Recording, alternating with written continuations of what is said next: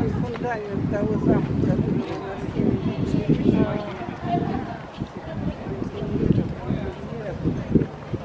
Вот то, что от него осталось.